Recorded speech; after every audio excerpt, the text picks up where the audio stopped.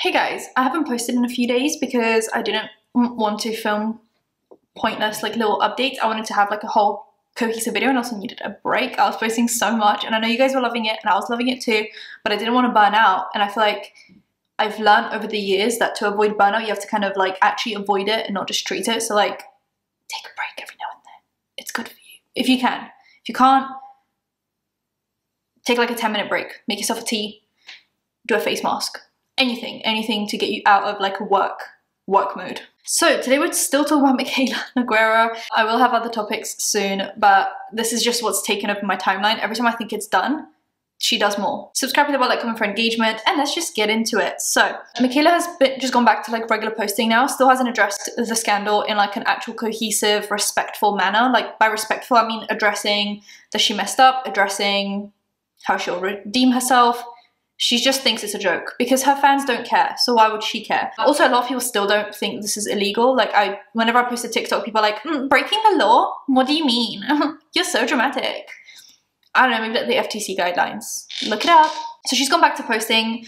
She's either posting get ready with me's or makeup reviews, that kind of a thing. Uh, I'll get into her going to Wyoming soon um, kind of later on in the video. In some of her videos, people are still, you know, making jokes. I do think she is restricting comments in some way. I think she's definitely maybe limited the words that you can use on TikTok. I do see her kind of going down that route. I think it's an easy route for her. She most likely went into on TikTok, you can restrict certain words that people won't be able to use in your comment. So they'll leave the comment and they think that they've left the comment, but YouTube will filter that out based on that word. I think definitely like L'Oreal telescopic mascara would be in there, uh, mascara gate, lash gate, FTC guidelines. Like I'm sure she's added some things into her restricted comment thing that mean that people can't leave those comments. Is that alleged? Yeah, that's just me alleging that that's what she did. Because I don't see many comments, and when I do, they seem kind of like they haven't used specific words, like they kind of like slipped through the cracks. I don't know if you guys remember when this whole mascara gate, lash gate situation happened, a lot of people made statements, and I'll talk about that in a minute, uh, but one brand in particular that I found really funny for making a statement was Ardell, like the Wispies, Ardell Wispies brand, Ardell False Lashes. I keep on scratching myself here because something's really itchy, sorry guys. So Ardell made a TikTok basically making fun of the drama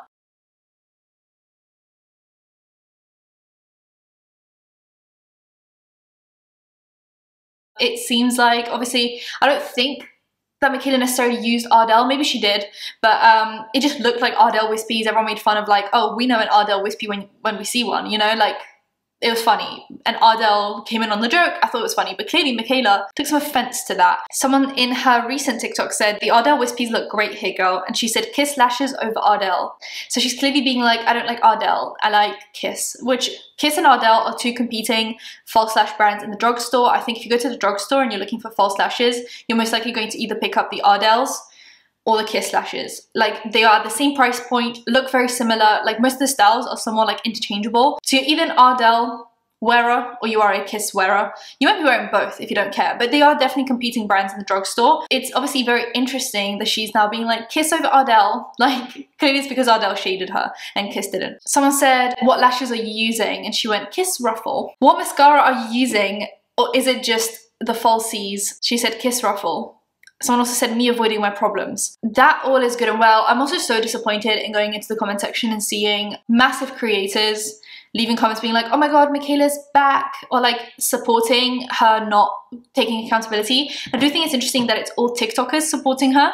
Like there is definitely a divide of like, there are some TikTokers that are not supporting her and some YouTubers that are supporting her. But as a general rule of thumb, I'd say most YouTubers are not supporting Mikayla in this endeavor. Like they're obviously not like coming out with pitchforks and being like, cancel her, but it's definitely YouTubers calling her out more and TikTokers defending her because TikTokers, for some reason, either don't want to comply with the FTC guidelines or don't know about the FTC guidelines guidelines. So they're very, I think because the career is very like new, they haven't had the time to adjust to like laws and regulations and they don't know about them. They don't know how serious it is until something happens and someone gets like punished for it. Like I don't think they'll know. So I do see a trend of like TikTokers defending Mikayla because they're most likely doing the same thing. So they don't see a big deal in this. Whereas YouTubers have been around for sometimes a decade. So they've been through all the issues, all the FTC guidelines, the progressions.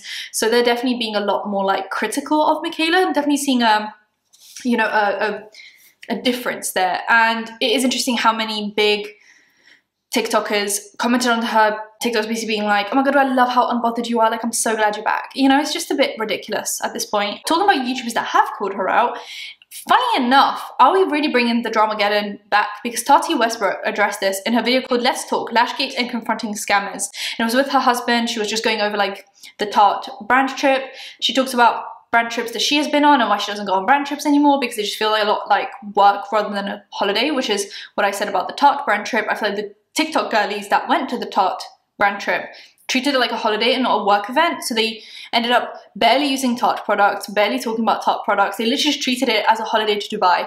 Whereas it was supposed to be a work trip where you mention Tarte, you use Tarte. You don't just get to like use the products that you want to use. Like you should be contributing to Tarte. And once again, it just feels like the YouTube people just knew how to work more. Like I feel like for some reason it feels like almost a generational divide and I'm never like that person that's like the younger generation is just so lazy because like we're all the same age. Mikayla's older than me, right? Like this isn't actually a generational thing. I think it's more like a like a platform thing. I think YouTubers are so much more hardworking. Not all of them. I feel like it's so much more difficult to grow on YouTube, blow up on YouTube, create YouTube content. Like it is so much more difficult. And I, I, think TikTok is easier to create content, but it's also easy to blow up. I've had so many TikToks now on one, two, three million views. And on my YouTube channel, it's, you know, a handful of videos it's so difficult to get to that point and it's so difficult to get subscribers and get into the algorithm like people grind for years before they even do anything whereas on tiktok you could really i challenge you guys you could post one tiktok a day for a month and one of them will hit a million views like TikTok's algorithm is just very different, but that does mean that the substance of the followers is slightly different. Like I think a million subscribers on YouTube versus a million followers on TikTok is a very different audience based on like loyalty, etc, etc.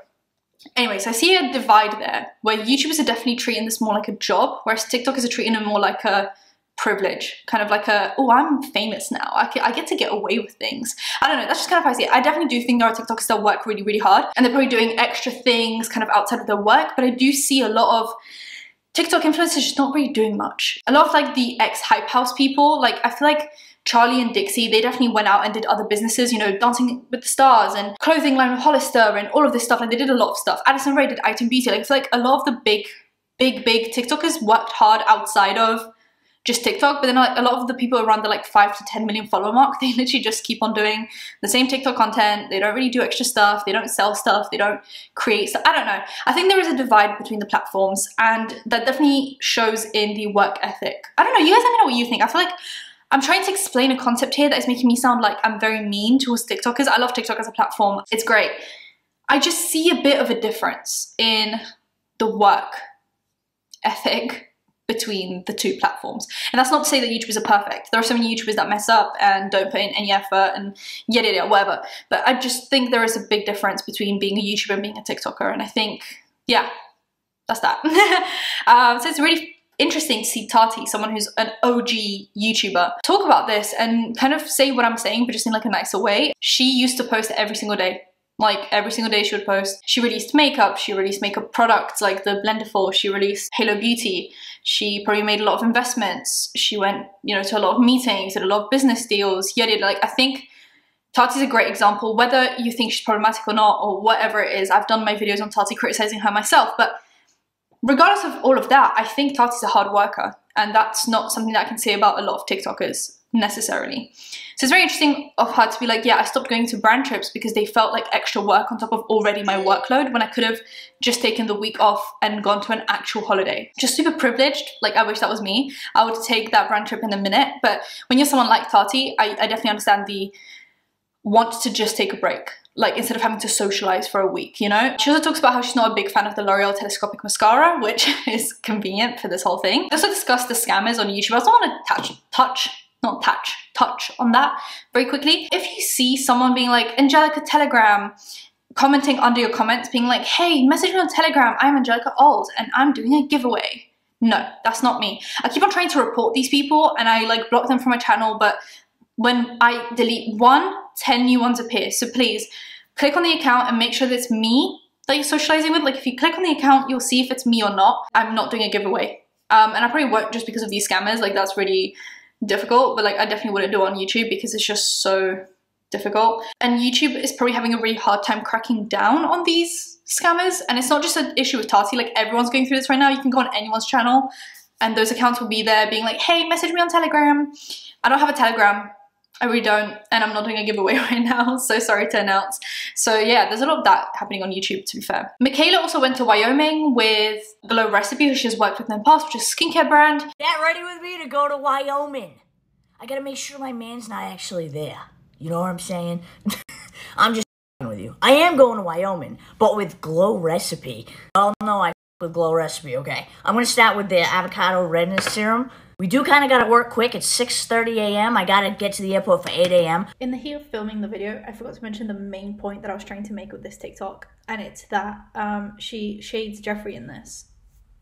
I'm so dumb. I literally just forgot to mention the main point of the video uh, because I was just going off on tangents. Uh, essentially, Jeffree Star posted a picture with an NFL player that he's secretly seeing, and everyone's saying the back of the head of this NFL player looks like Cody and they were wondering if Cody is hooking up with Jeffree, which obviously isn't true. It was just a funny haha theory. But Mikayla addresses this haha theory at the beginning of this video, which fuels the further like Jeffree Star and Mikayla beef going on, kind of. And they're going to discuss Jeffree Star's like little NFL situation. He's always trying to like act like he's seeing some. Oh, not my problem. What I was going to address is this Mikayla Jeffree beef. And there were a lot of people there, Alix Earle, all of that stuff. I'm not going to fully discuss the reason why people are really calling her out, which is that she looks very different in real life and in unposted pictures than she does in her pictures, and that she uses a lot of filters, a lot of facial, a lot of Photoshop. I've already discussed all of that.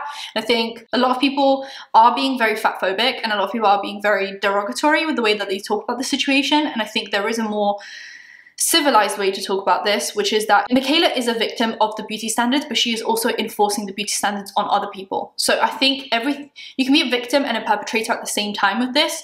She feels the need to face tune and Photoshop and make her face and her body look different because of the very strict beauty standards for women. But by her face tuning, photoshopping her face and her body, she is also perpetrating those beauty standards on other people. So you can be a victim and a perpetrator at the same time, and that's all I have to say about that. We then have, obviously because she went to Wyoming, um, people also calling out the fact that she's lying again because she said that her boyfriend, well, fiancés, Cody, um, Cody's family's from Nevada ages ago. She said they were from Nevada and that she knows that she that he misses them. But now she said that his family's from Wyoming and that they're going to like see his family in Wyoming. So some people are calling that a lie. Now, I'm not sure if maybe she's talking about the same sides of the family. Maybe one side of the family is from Nevada and the other side of the family is from Wyoming.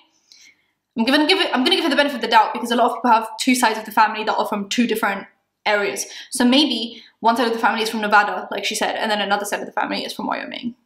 If not, she is lying, but I, am willing to give her the benefit of the doubt on this one. Also, because she's in Wyoming, Jeffree Star posted this. All right, y'all, I'm just going to say it once. Yes, I see your thousands and thousands of tags that Mikayla is in Wyoming.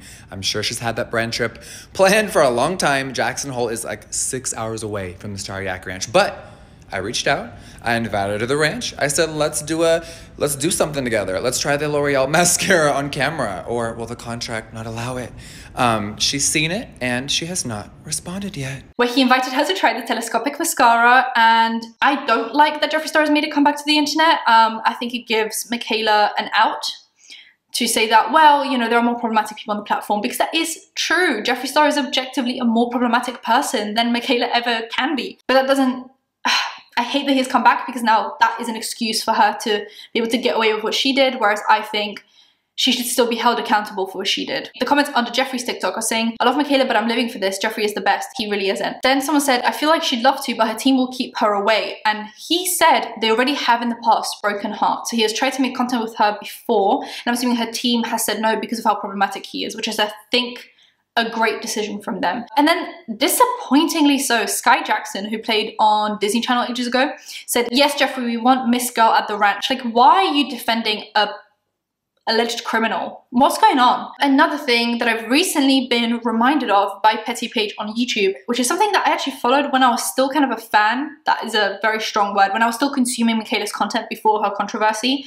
I remember this happening and I didn't really have too much of an opinion on it because I just didn't. It was just passive content that I was watching. But thanks to Petty Page, I've just been reminded. Michaela was called out in the past for affecting uh, an indie brand's sales. So there is this content creator called Yolando Salmon. I hope that's how you pronounce it. And she is an MUA and a makeup brand owner.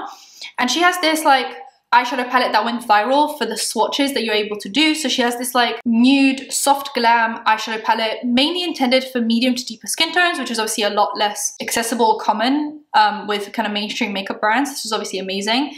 And she has this one iconic shade in the palette that people swatch and it creates like a long line of swatch.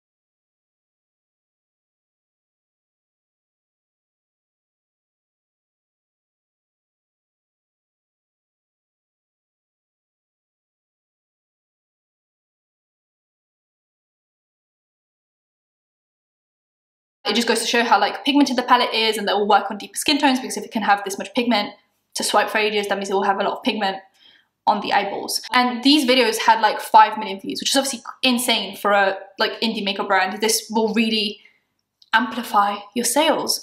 So Mikayla bought this eyeshadow palette when she saw this TikTok, like everyone else, and she ended up basically in like the first 10 seconds of the video saying, oh, I've heard like through the grapevine essentially that um, she uses Vaseline to enhance her swatches and then she tries to like imitate the swatch, but it looks like she presses really hard to get like a short swatch. I bought that immediately. Hey, don't quote me on this. Apparently she uses Vaseline when she does those long swatches to make it do that. Like the way it does with hers because it doesn't have the Vaseline. So kind of, I don't know why she would go out of her way to make the palette look worse than it is when there are so many people that have shown that you can get these really long swatches. I think with most high quality shimmers, you can get a really long swatch. Like if you get a really pigmented eyeshadow palette, you can do that kind of a swatch. If you just swirl around a few times in the pan and then just lightly press so that you don't deposit all the pigment at the beginning, you kind of spread it out more. So I don't know why she would press so hard to get it off in the first go. Some people are saying it's because she has collabed twice with Glamlite, who are like a direct competitor to brands like this. I'm not saying that Glamlite like saw this brand and were maybe like threatened. Glamlite are known for super high pigments and like high performance, so maybe um, Mikayla felt like she needed to almost shut down another brand to keep up Glamlite. but that seems like such a stretch and such a reach. Like I just don't know if she would do that because that just sounds so like she would have to do that to like every eyeshadow brand. That feels ridiculous. I don't know why she did that. Maybe she just didn't know how to use this eyeshadow palette. I don't know. But since then, the owner of this brand has basically said that she has gotten nothing but criticism from Mikayla fans, constantly demanding that she prove to them that the palette works the way it works. She has literally done nothing since then, essentially, but just keep on making more videos proving that her eyeshadow palette does perform the way that she says it performs. And there are also other people that have been sent to the palette that also are being like questioned about it, being like, prove to us that it works the way like Mikayla said it doesn't. Don't go like the way it does with hers because it doesn't have the Vaseline. It's ridiculous, honestly. And she also said that in a TikTok, I'll post it for you guys now, that Mikayla really affected her sales. You heard in my business, and this is what I keep on have to be doing so people can see that you are the liar and not me.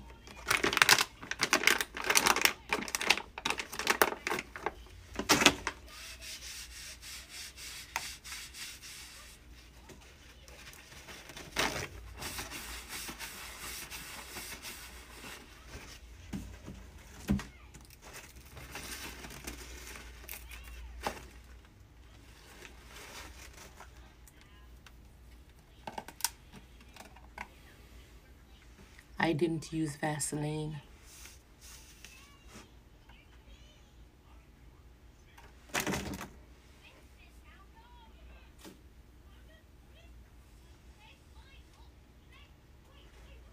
It was that easy to swash.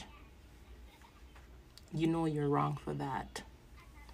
You know your name. That is really sad to see that Mikayla would review an indie brand but then affect the indie brand sales negatively instead of positively when we know that Mikayla can sell out a product like this. There are also a few other people that have addressed the like ad disclosing brand deal situations. Like Raw Beauty Kristi and Robert Welsh have both kind of from the perspective of YouTube influencers have addressed how to legally and in a compliant way make ads on the internet. And that's not just exclusive to YouTube, like every platform that you make this content on, you have to disclose properly, which Mikayla didn't do. Other than just putting on the false lashes on, which is like strike number one, uh, she also didn't disclose properly, which a lot of these MUAs are now addressing. So that's everything so far on Mikayla. This video is a lot longer than I thought it was going to be. But yeah, subscribe the bell, like, comment for engagement. Let me know what you guys think. And I'll see you in my next one. Bye guys.